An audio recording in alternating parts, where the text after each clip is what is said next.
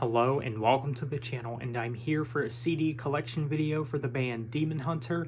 Now Demon Hunter is one of those bands that mean a lot to me since they were one of the bands that got me into metal so let's go ahead and get started with this collection and we start off with of course the debut album which is I think kind of an underrated album. I don't really see a lot of fans talk about this one much. Uh, not their best album but definitely not their worst either so definitely a good album. Next, Summer of Darkness. Now, this one is actually one of my least favorite Demon Hunter albums, which is, I know, not a very popular opinion, but I do have some complaints with the album. Uh, the album lacks ballads, for one. For two, I feel like this album has a lot of filler to it, kind of overstays its welcome. An album that drags on longer than it needs to, but I think for what the album is, it's still pretty good, even though it, I don't think it's one of their best. Next, the Triptych. Now, this album is one of their best for sure. I know there's a lot of people that can agree on that. Some people have this at number one. Some people have it in the top three. And for understandable reasons. I mean, I know some people might say that the album is a little overrated with Demon Hunter fans. For me, I don't think it's overrated. I think this album is well deserved of the recognition that it gets. It has some of the uh, some of their best ballads, some of their best songwriting, and there's just a lot to like about this album.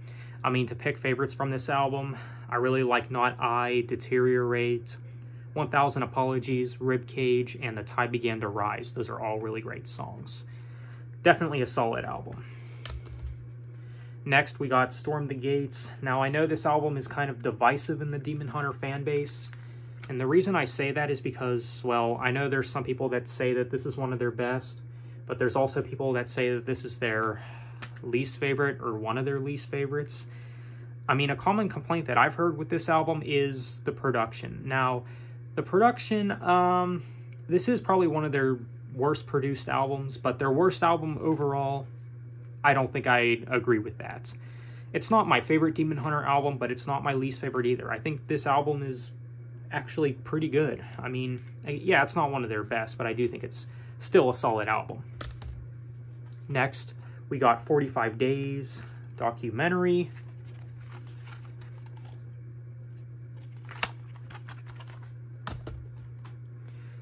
The World is a Thorn. There was a time where this was my least favorite Demon Hunter album, but now it's kind of grown on me a little bit. Uh, still not one of my favorites, but I still do like the album though. Um, definitely very good. I mean, it does have the song that got me into Demon Hunter after all, which is Collapsing, and that is one of the best songs on the album for sure. So, yeah, good album. Then we got True Defiance. Now, I think this is one of their best as well. In my opinion, I think that at the time, this was probably the best thing that Demon Hunter has done since the Triptych definitely a great album. Definitely um, a top three best Demon Hunter album in my opinion. And I know there's a lot of people that can agree with that. Uh, to pick uh, some favorite tracks from this album, I gotta go with Crucifix, Tomorrow Never Comes, Someone to Hate, and Dead Flowers.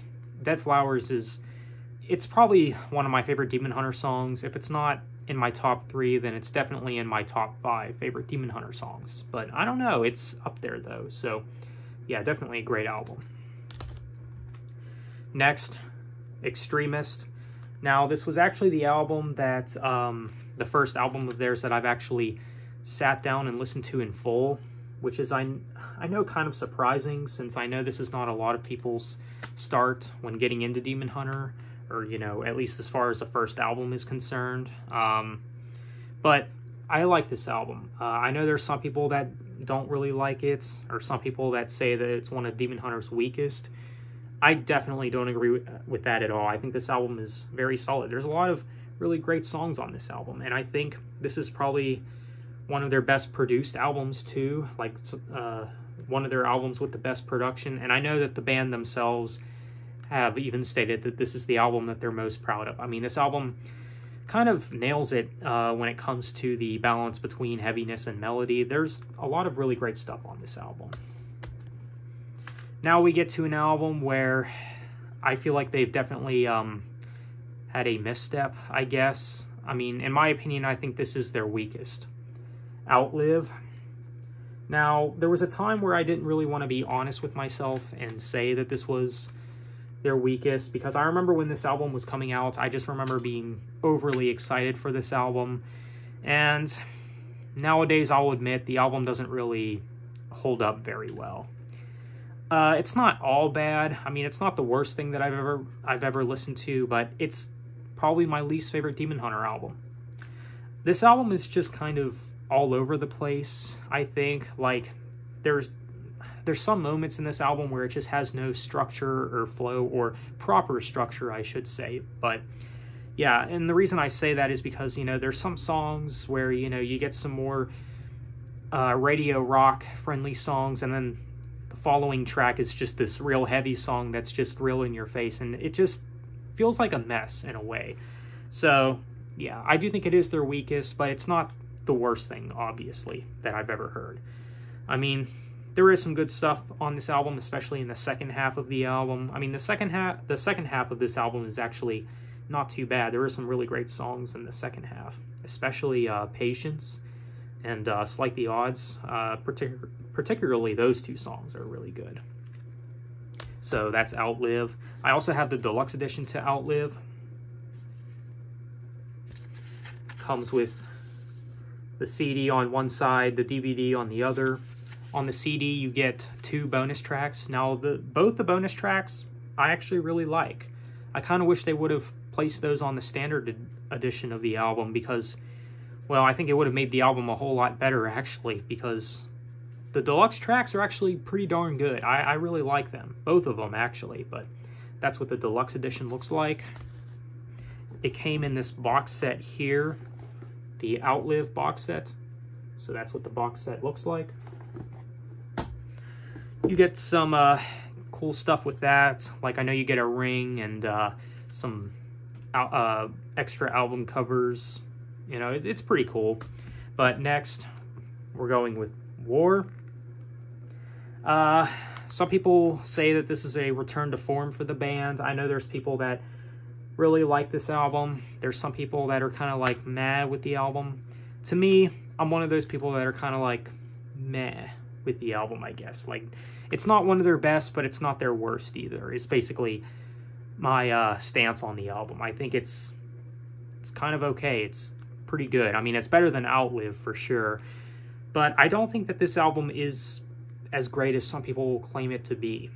But I do think that of the two uh, albums that they've released on the same year as this, War and Peace, I definitely prefer War over Peace. I think mainly just because this album just sounds more like Demon Hunter overall than Peace did. Peace is obviously more experimental, but yeah, but War, it's it's pretty good. It's not one of their best, but I do the I think it's a pretty good album. I mean, it does have the song Lesser Gods, which is I think maybe the best song that they've done since the Extremist time, I guess. But yeah, decent album. Then we of course got Peace uh, this album, I'll be honest, it is one of my least favorite Demon Hunter albums. Um, definitely a bit different, a bit uh, experimental for the bands. Um, there is some good songs on here. Well, there are a, a, or a couple good songs, and the rest of the album is just kind of man. And there's a couple songs that are just like, this is some of their weakest material. You know, I do think that this album does have some of Demon Hunter's worst songs, but the album, it's not all bad. I'd say it's slightly better than Outlive, but not by much. But yeah, Peace, it's an okay album. Definitely a bit different and unique in the band's discography, so I guess uh, that's something that some people appreciate, because I know that that album does have its fans. But of course, lastly, we got the latest acoustic album, Songs of Death and Resurrection. And I think this is a pretty solid acoustic album. Uh, I really like the way they redone some of these songs, and I think it's very good. So, Songs of Death and Resurrection, I mean, uh, I will admit the album doesn't really hold up as well as it did when it first came out, but I still do return to certain songs here and there from this album. So, yeah, but that's it for this Demon Hunter collection video, guys. Uh, and I, of course, look forward to their new upcoming album, Exile, which is probably not going to come out till sometime early 2022.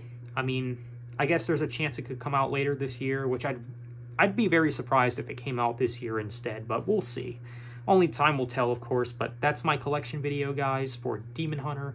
So let me know what you guys think. What CDs and albums do you have from Demon Hunter? Do you have their albums on CD? Do you have them on vinyl? Uh, do you buy their albums uh, digitally, maybe through iTunes?